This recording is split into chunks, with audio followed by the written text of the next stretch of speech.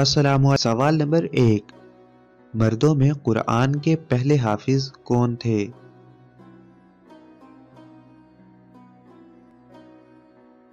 जवाब, हज़रत उस्मान रज़ी अल्लाह सवाल नंबर दो, औरतों में कुरान की पहली हाफिजा कौन थी?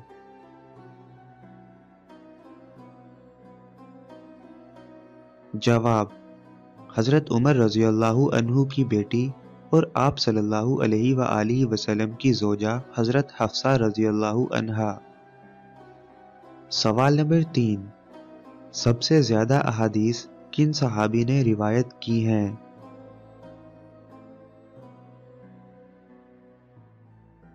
जवाब, हज़रत अबू हुरैरा रज़ी अनहु ने। सवाल नंबर चार। अबू हुरैरा का मतलब क्या है? और हज़रत अबू हुरैरा रज़ी अल्लाह का असल नाम क्या था?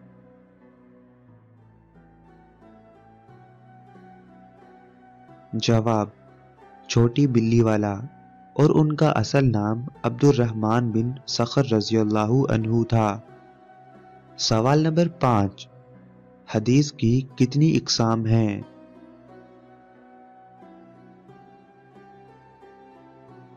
जवाब, दो, पहली हदीस नबवी और दूसरी हदीस कुदसी।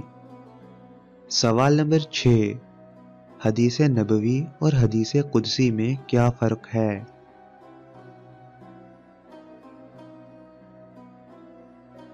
जवाब, आप सल्लल्लाहु अलैहि वसल्लम की बयान की हुई बातें हदीस नबवी हैं और कुरान के अलावा अल्लाह का कलाम जो आप सल्लल्लाहु अलैहि वसल्लम ने बयान किया, हदीस कुदसी हैं। सवाल नंबर सात, कुरान मजीद में किस वाहिद आदमी को इसकी कुनियत से याद किया गया है?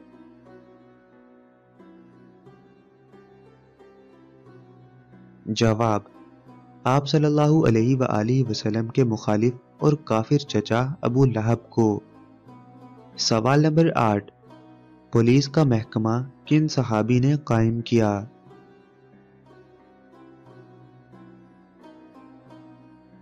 जवाब, हज़रत उमर रज़ी अल्लाह अनहु ने।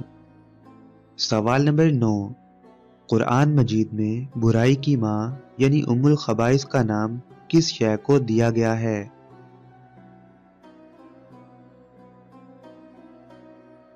जवाब, शराब को।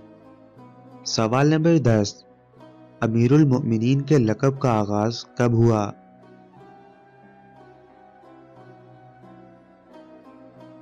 जवाब, हज़रत उमर रज़ी अनहु के दौर में।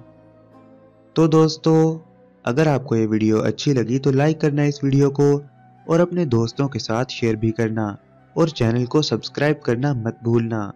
इसी के साथ गुड बाय दोस्तों।